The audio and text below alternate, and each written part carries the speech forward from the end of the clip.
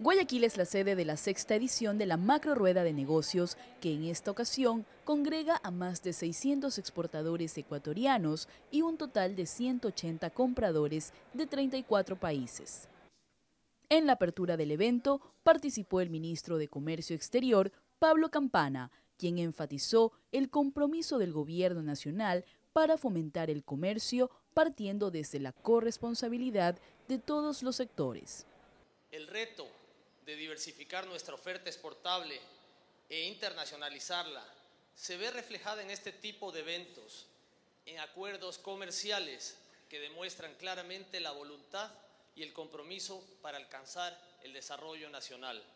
El evento, que se desarrolla en el Centro de Convenciones de Guayaquil, prevé que se efectúen alrededor de 4.272 citas de negocios hasta este miércoles 7 de junio. La directora ejecutiva de ProEcuador, Silvana Vallejo, calificó este espacio como la mayor plataforma comercial del país que permite acceder a nuevos mercados. Ecuador y nuestros emprendedores necesitan de encuentros como estos si de verdad queremos empujar la internacionalización de las pymes y promover su participación en las cadenas de valor. Rumiñahui Duchisela, representante de Café Ñucayacta, llegó con amplias expectativas a la sexta macro rueda de negocios. Para nosotros es un gran beneficio poder hablar directamente con eh, compradores de otros países aquí mismo en Ecuador. Tenemos cinco citas con, con algunos de Europa, de Estados Unidos y de Corea del Sur. Entonces eh, tenemos la expectativa de poder mandar unos microlotes a ellos.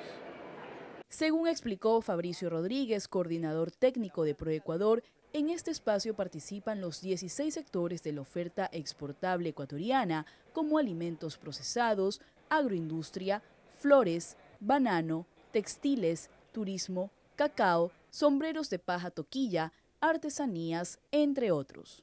Tenemos que entender que detrás de estas 600 empresas exportadoras que están participando hoy día están las aspiraciones de productores, están familias que trabajan, que ponen su empeño, que laboran día a día por ofrecer un producto de calidad y saben que su producto es de calidad y en función de eso vienen a mostrarle al mundo.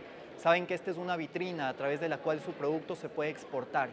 Según datos de ProEcuador, en las ediciones anteriores de la macro rueda de negocios se logró alcanzar un total de 1.068 millones de dólares por expectativas de negocios. Lorena Intriago, Noticiero Ciudadano.